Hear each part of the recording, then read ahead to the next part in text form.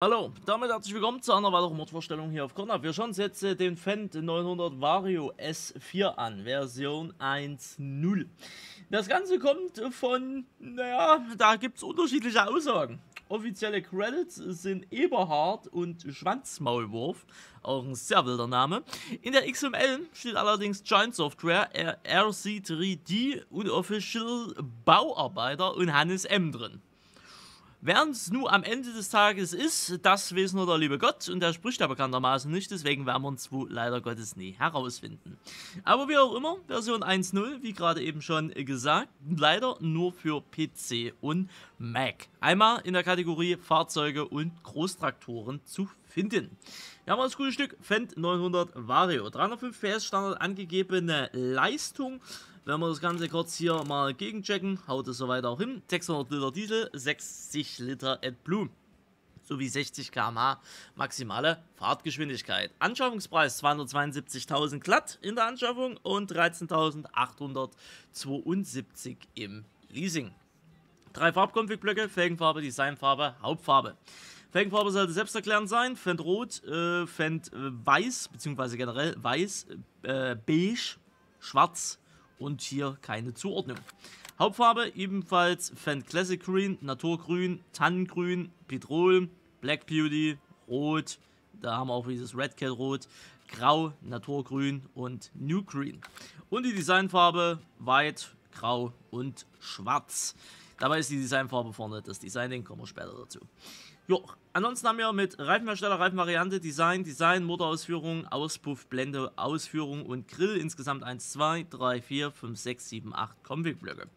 Wir haben standardgemäß Trelleborg mit Reifenvariante Standard. Das Ganze gibt es mit Radgewichten, Breitreifen und dann verließen sie ihn dementsprechend auch schon wieder. Michelin Standard, Radgewichte und das ist es auch schon wieder gewesen. Midas Standard, dann haben wir hier den Vario Grip mit dabei, Radgewichte und wiederum Standard. BKT Standard, Breitreifen, Breitreifen mit Radgewichten und wiederum Standard. Und dann sind wir auch schon wieder bei Trelleborg angekommen. Design gibt es einmal ohne und einmal mit Warntafeln. Design Nummer 2 gibt es einmal Standard, dann Rundumleuchte links, Rundumleuchte rechts oder Rundumleuchte links und rechts. Weiter geht es zur Motorausführung. 3, äh, 930 Vario, 933 Vario, 936 Vario und 939 Vario. Heißt 305, 335, 376 oder 396 PS maximale Leistung. Auspuffblende gibt es einmal eine Standard und eine verchromte. Kann man schwer erkennen.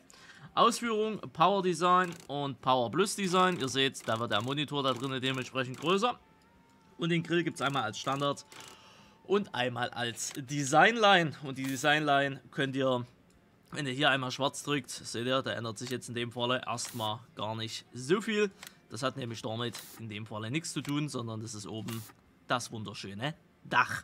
Die Designline bleibt leider Gottes grau, aber wenn das so im Real Life auch so ist, why not? Why not? Schauen wir uns das gute Stück in dem Falle mal mit an. Wenn ihr alle Funktionen nutzen wollt, braucht ihr Simple IZ. Macht das schon mal hier aus. Wir haben hier Trelleborg 600 70 R34 vorne, 710 75 R42 hinten. Wir haben äh, vorne normale Fahrtleuchten, 3-Punkt-Aufnahme mit dabei, soweit so klar. Fan steht vorne mit dabei am Kühlergrill. Wir haben hier vorne Kennzeichen LSVF FV, so rum 930.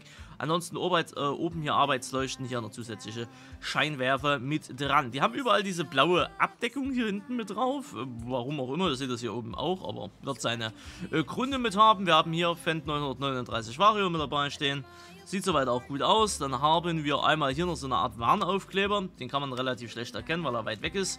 Wir gehen mal deutlich näher dran. Da seht ihr das Ganze hier. Schröder-Gruppe. Bestimmt LU-Unternehmen, irgendwas in der Richtung. Ihr werdet es wissen. Äh, ansonsten gegenüberliegende Seite das gleiche in grün. Wandtafeln hinten eingeklappt, oben nochmal Kennzeichen.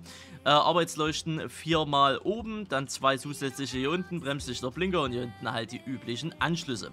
Wir haben überall Kollisionen, das heißt wir glitschen hier nirgendwo durch, das ist schon mal schick schön. Der Innenbereich sieht eigentlich offiziell so aus, sprich das Lenkrad ist hochgeklappt, ich nehme es jetzt mal runter. Fendt steht mit drauf, lässt sich nach links und rechts ohne Probleme bewegen. Ähm, ihr seht hier beim Lenken, äh, das sieht so im Außenbereich jetzt äh, weniger so aus, aber ihr seht das Ganze so hier, ne, diese Kotflügel. Die gehen da hier so, so, ne? So, so. Ähm, ob das ein Fehler ist oder ob das so gewollt ist, äh, das weiß ich nicht. Das werdet ihr am Ende des Tages wissen. Ist mir doch aufgefallen. Ansonsten Spiegel links, rechts, Sound so weit hin, Rückspiegel ebenso. Ansonsten halt hier drinnen alles so, wie man es halt kennt. Wir haben jetzt die Plus-Variante, also sprich, wir haben den größeren Monitor mit dabei. Wir haben hier äh, ein Handy. Ist auch ganz nett so als kleine Dekorationszwecke, wie ihr hier seht, ne? Irgendein Lied oder whatever, was das sein soll, aber halt recht nett. Ansonsten Decke war ein bisschen matschig, aber es geht. Ansonsten hier noch Logo von Fendt mit drauf. Ja, Reservesitz und dann verließen sie ihn dann dementsprechend auch schon wieder. Generell an sich nicht verkehrt, wie gesagt, hier und da kleine Unschärfen, aber ansonsten vollkommen IO. Hören wir uns mal einen Sound an.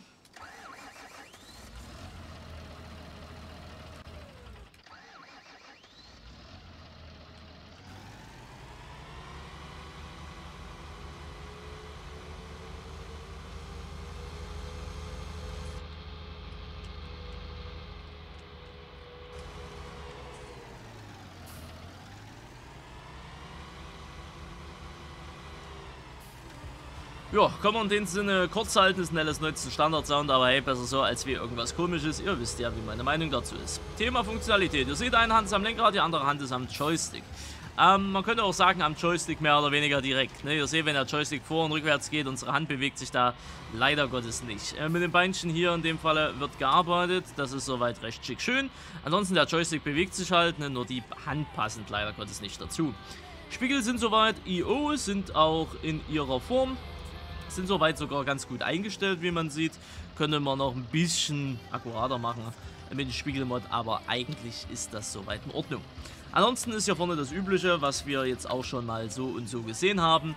Links RPM, rechts kmh, ist soweit mit dem Tacho synchronisiert. Pfeil nach vorne, Pfeil nach hinten, je nachdem wie wir fahren. Äh, Blinker sind da vorne mit dabei, alles schick schön.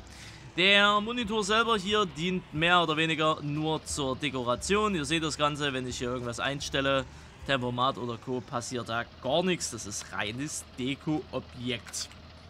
Gehen wir einmal in die Nacht rein.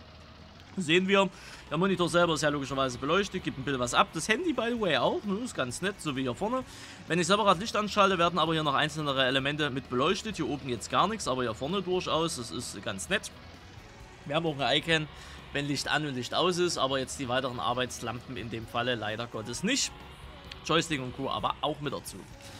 So, im Außenbereich, Tagverlicht haben wir in dem Modell hier noch nicht mit dabei. Wir haben vorne Blinker, hinten Blinker, reflektieren soweit auch am Boden, alles kein Problem. Die rundum leuchten sind soweit auch schicki. Wenn wir hier kurz ein bisschen rückwärts ranfahren, seht ihr, die reflektieren soweit auch. Ansonsten haben wir normales Fahrtlicht, vorderes Arbeitslicht und hinteres Arbeitslicht, diesmal aber umgekehrt, also sprich einmal, zweimal, dreimal. Ne? Numpad 5, Arbeitslicht vorne, Numpad 6, Arbeitslicht hinten. Ne? Funktioniert soweit auch ohne Probleme. Rückwärts leuchten haben wir in dem Fall ja nicht mehr dabei. Bremslichter funktionieren. Kennzeichenbeleuchtung eben auch. Hube. Mal was anderes außer diese Standardhuben, die wir bis dato kennen. Auch ganz nett. Irgendwelche Spielereien? Ja, neben Simple ISI können wir hier die Fahrtrichtung wechseln. Steuerung links B. Einmal gedrückt halten. Ne, wir wechseln den Sitz, beziehungsweise der Sitz dreht sich und schon können wir dementsprechend so rumfahren. Ne? Kennen wir ja mittlerweile auch schon alles. Animationstechnisch gesehen auch da alles sauber. Ansonsten Simple IC, Tür auf, Tür zu. Oben äh, rundum leuchten auf bzw. ab.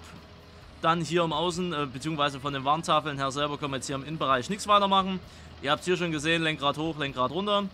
Dach öffnen, Dach schließen. Wir können hier den Monitor etwas zur Seite nehmen.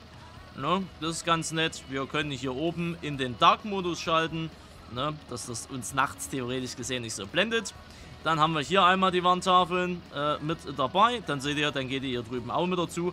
Habt aber nur da einen Point. Hinten die Heckscheibe, die können wir einmal hier öffnen. Geht auch ohne Probleme. Zack. Ne? Und dann haben wir alle Funktionen im Innenbereich äh, durch. Im Außenbereich gibt es jetzt nicht so viel. Hier vorne dieser Punkt. Ne? Öffnen, schließen äh, wenn wir das Ganze wollen. Ansonsten können wir logischerweise auch von außen die Türen öffnen. Hier hinten ist jetzt erstmal nichts weiter und hier vorne halt der Point, um das ganze Ding aufzumachen. Ne? So weit, so klar.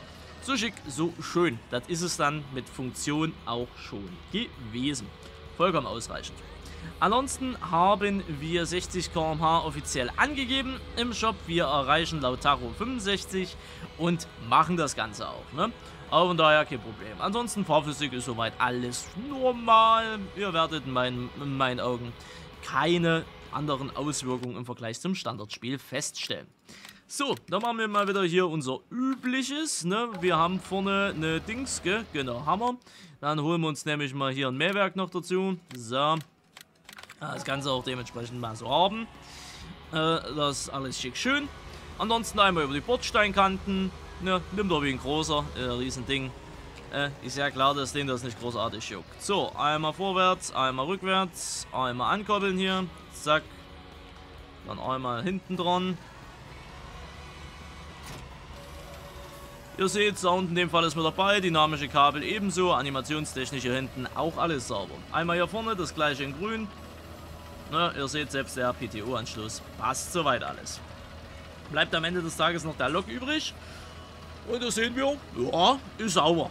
Ne? Muss man sagen, ist sauber, passt soweit. Wir reden hier circa von, glaube 30, 40 MB, so über den Daumen gepeilt. Soweit auch IO.